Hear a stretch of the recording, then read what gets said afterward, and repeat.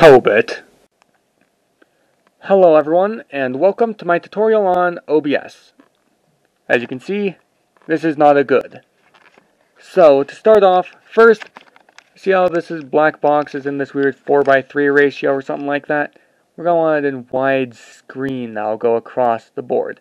So what you're gonna, gonna do is you go into settings, and you're going to go to video.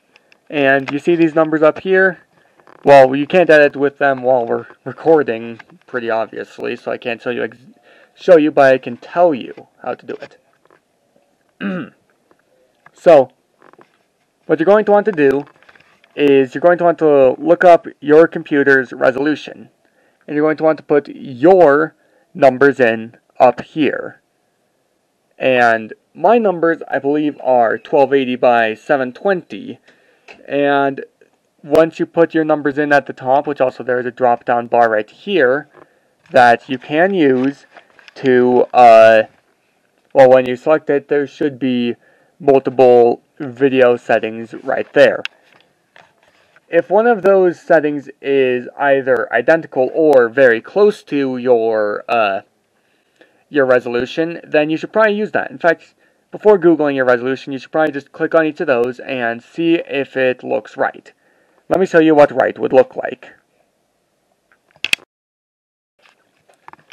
It would look something like this. The black bars go all the way across to the side, and, well, I didn't even adjust with this uh, starting image at all. It was just already set to, you know, be like this with, from my main account. But yeah. So, this should, so don't worry about this middle part, that's just so that I can record showing this to you guys. So yeah, the black bar is on the outside sides. And here's what you're going to want to do to create a new source, because, well, now that you have all of this set up on the side, that's really all you have to do. You need audio, well that's pretty obvious down here. You just mute or unmute depending on what you want. And it says it right here, mic aux, desktop audio, those should already be set up there right and ready for you. There's nothing else you have to do in settings after you get this set up. And in fact, for the longest time, I didn't even have that set up. I just used that basic starting thing that you used. And if you want to use it like that in, in that basic starting one, you can use it. You just do the same thing that I'm about to show you here.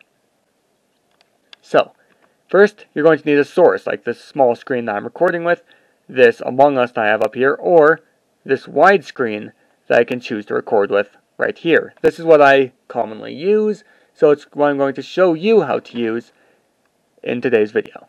So let's go back to small screen real fast. We're going to want to do a new input. And you're going to want to do display capture for what I'm showing right here. Display capture will show just whatever's on your screen. And, oh yeah, by the way, also this up here area that's just showing what your camera's recording, well, what your OBS is recording right now. So, yeah. Uh, that, that's what this whole thing's about. If you open OBS while it's over here, say, in this or something, oh yeah, I, this was, I was just doing a little bit of refreshing on some OBS stuff because it had been a while since I set mine up. So yeah, you saw it just for a moment whoosh all the way back there. That's because it was what was on recording, and for a split second we could see it still on the recording because it, it this recording is just barely a second behind you. So yeah, uh, enough about that. You go to this plus. You're going to want to do display capture. It'll show anything that's on your computer monitor. And, uh, well, we might as well just have it called display capture right now. You can name it whatever you want. You just make this create new things should already be clicked in. You just leave that clicked in. You put in whatever name you want here. Make source visible, obviously, and you click OK. And uh, yeah, you should you leave it the display the same. You you this all all these settings are right here. These defaults should be exactly how they are. You click OK, and whoa, that doesn't look right. So, here's the trick. You right click down here, there's going to be transform right here, okay? And you're going to, you have a few options down here as your main ones. You can do fit to screen, which makes it like the small screen. Let me turn off the old small screen. and it'll be just like this. You can do transform stretch to screen, and it'll be stretched, like the widescreen that I use right here. And then you can also do center to screen, which that actually all it does is it doesn't change the shape like this one does. It just moves it. So say you accidentally get it off the screen, center to screen, boom, it's right back in the center where it belongs.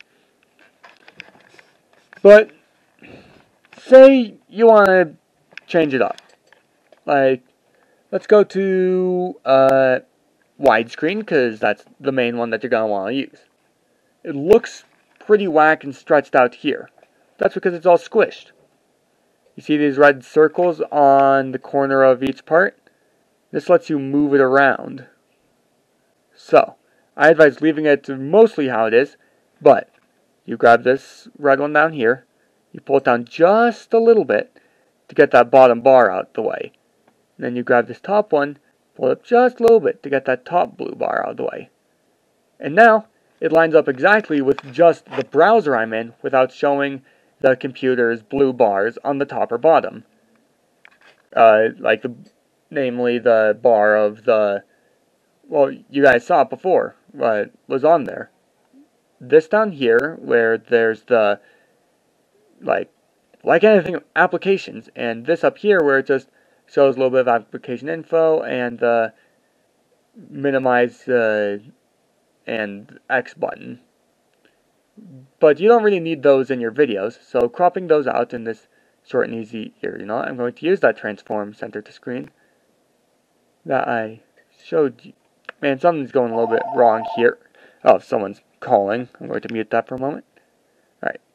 Fit the screen. Let me fix that real fast. Yep, see? Pretty easy. You just do the stretch to screen, and then, whoop, you stretch it like that. The top bar should be out of the way, the bottom bar is now out of the way, and you have the exact video screen that I use to record my videos. So, if this was helpful, be sure to leave a like and a comment, maybe even subscribe, and, uh, if this was, if there's anything else left unanswered, or maybe problems for other computers, go ahead and, uh, leave them in the comments down below, and, uh, I'll try to get back to you. I won't be using another computer, so if it's for another computer thing, I'll probably just refer you to another video, but, uh, for the most part, this is basically the definitive way to set up a short load display capture. If you want to hear about how to set up game captures, well, if this video gets, I don't know, 5 likes maybe, then I will show you how to create a video game capture, just like this Among Us one right here, because that's called Among Us because it records Among Us gameplay. See y'all next time.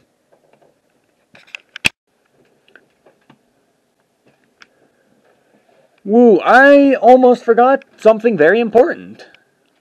So, uh, you're gonna want to go into settings. There is one more thing in settings I did forgot. I lied. Uh, but this is output. You can't, obviously you can't change it while you're recording it. But you see right here, recording path.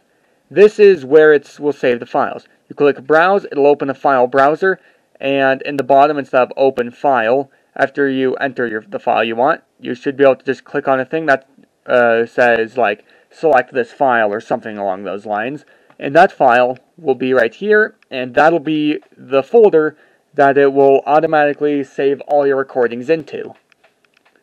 Then also down here, recording format, you should, there will be a drop down right here. Select whatever works best for you. I choose MP4. It is the highest quality recording ones that I can do on this computer, and it's also the ones that are easiest to work with in most of my editors, since uh, Windows files don't always work in things, and etc, etc, etc.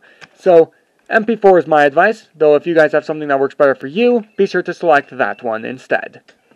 Alright, there. Now that's the real end of my video.